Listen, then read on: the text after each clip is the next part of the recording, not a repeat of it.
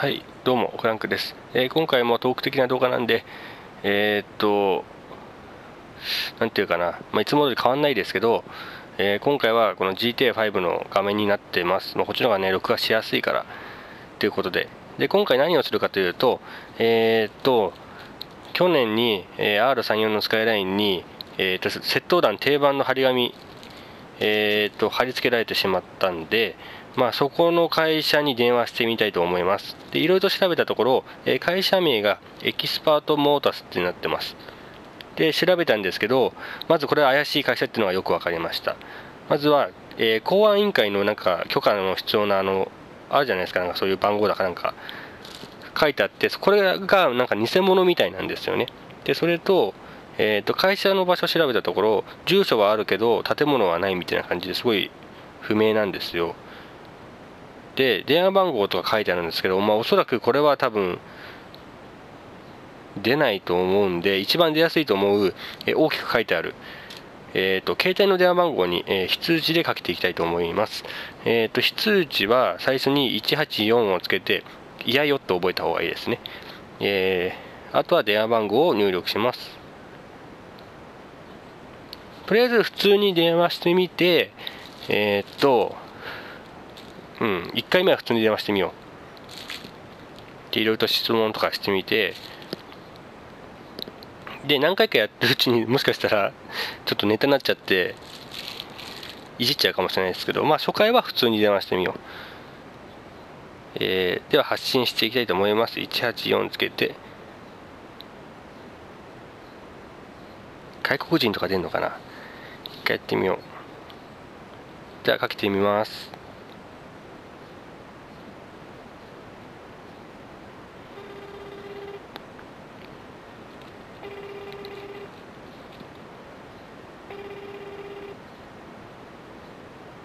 出ないな。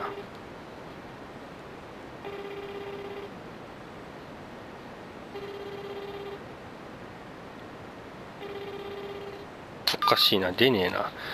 しょうがない。じゃあ今度はえっ、と会社の方に、えーかけていきたいと思います。えっ、とまず184をつけて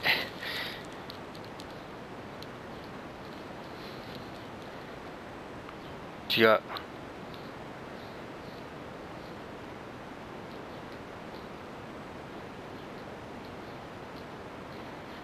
もう一回かけていきます。今度は携帯電話じゃなくて普通の会社に電話してみます。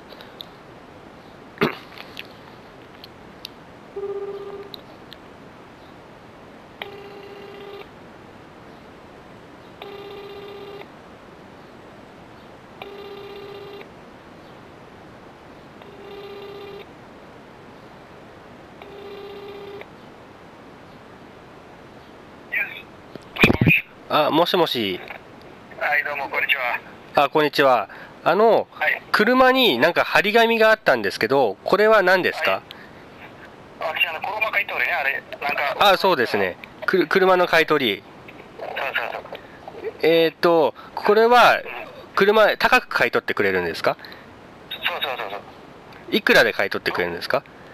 車は何？えっ、と前スカイラインに張り紙貼りませんでしたか？ああ、スカイね。スカイライン？日産スカイライン？あ場所はどこ？あの、いっぱい入ったよ。であっちあっちには一部ない200キロぐらいちぶちぶきね。場所はわからないね。あ場所がわからないそうそうそう。えっ、とあの会社名は何ていう名前ですか？エクスパートモータース。おええ何？エキスパートモータス？そうそうそう。えっ、とこれはどこにあるんですか？これ、サンドシやめた。あのちょっと今調べたんですけど会社が見つからないんですよあそっか。会社あるけど、物の全部が回ってるね。うん会社のその住所が書いてあったから。一回調べたんですけどその地名はあるけどその会社の建物がないああ、これ、こっち、事務所だけだ。じゃあ、あの、事務所だけあるね、サムシ。あ事務所だけそうそうそう。でくその普通の車とかいっぱい置いてあるところはどこにあるんですかね？ああ、あれは、や八幡大きい。あーあじゃあその車を置くあの置く場所があるってことですねヤード。そうそうそう、あれ、八幡。八街にある。ああそうそうそう。えーっと買い取り以外にも何かしてますか？え？買い取り以外にも何かしてます？やってるね。え例えばあの車のパーツを売ってもらったりとかっていうのもできるんですか？あれパーツは売ってないね。車買うあの外国送るだけね。こっちから買ってああ。パーツは全然。えっとじゃあ車を外国に送るんですか？そうそうそう。あ車を外国に送る。そうそうそう。ああそういうことですか。あじゃあその車を買い取ってそれを外国に持っていくってことですね。そうそうそう。ああわかりましたえっ、とだい大体車はどのぐらいで買い取ってくれるんですか？お金は。ものによると思いますけど。えっ、と車ですか？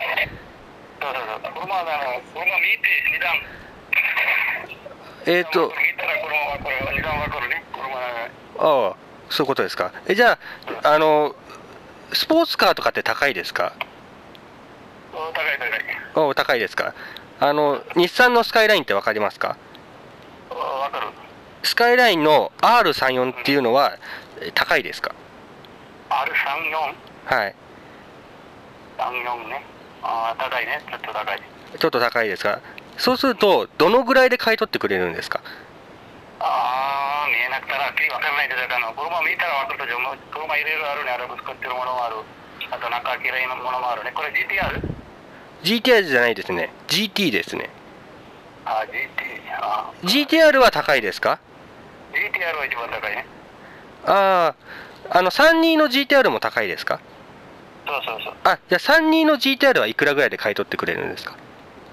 あとあれ大体あれキロ数はいっぱい乗ってるよ。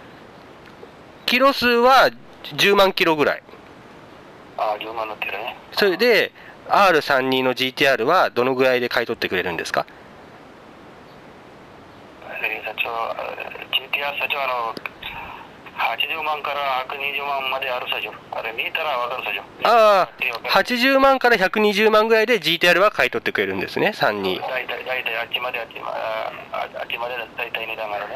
わかりました。じゃあちょっとまた何かあったら電話しますね。お願いします。はいありがとうございました。お疲れ様です。はい。おおマジ怖い。マジ怖いぞこれはえー、えー、っと皆さん今声入ってると思いますけどえー、っとお仕事聞いたら車を外国に売り飛ばす。そうなんです。外国売り飛ばすっていうか外国に持っていく？要するに盗んだ車を外国に持っていく。まあこれ多分定番ですね。皆さんも気をつけてください。本当これやばいですよ。でえーっとまあまたね今度かけてみますけど。前僕ねあの R34 のスカイラインねまあ GTR じゃないですけどフォードバーの34にまあ貼られました。紙。だったんでちょっとねちょうどね値段も気になってたし聞いてみたんですね。車買い取るって高く。でまず R34 のスカイラインはまあ GTR じゃないから安いってことはよく分かりましたけど32の GTR ね、えー走行距離10万キロぐらいって言っときました僕のやつね12万5000キロぐらいなんですけどえーっととりあえず10万キロって言ってみて相場で見たら80万から120万で買い取ってくれるそうです。うーん。やばいな。今回はもう本当素晴らしいな。本当に言ってくれたよ。だってさ今聞いたらさこの住所は事務所だけあるって言ったじゃん。で事務所だけあってえーっとなんていうの？